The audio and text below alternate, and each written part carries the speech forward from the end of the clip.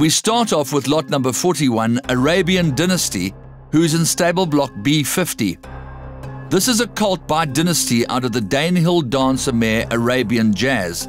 Arabian Jazz herself won three races, and her daughter Sylvan Jazz is a feature race winner. The second dam includes Arabian Lass, who's the ARCSA champion two-year-old filly of 1995, and her genes have proliferated horses like Prairie Breeze, Princely Affair, Banker's Gold, National Banker, and Smart Banker.